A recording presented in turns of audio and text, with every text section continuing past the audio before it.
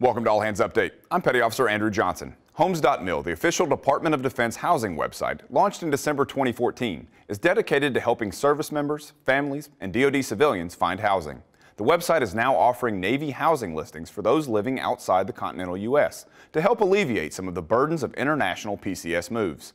Homes.mil enables housing service centers, or HSCs, landlords, and property managers to find and share information about local community rental listings. HSCs work with local landlords to help service members find safe, suitable, and affordable housing.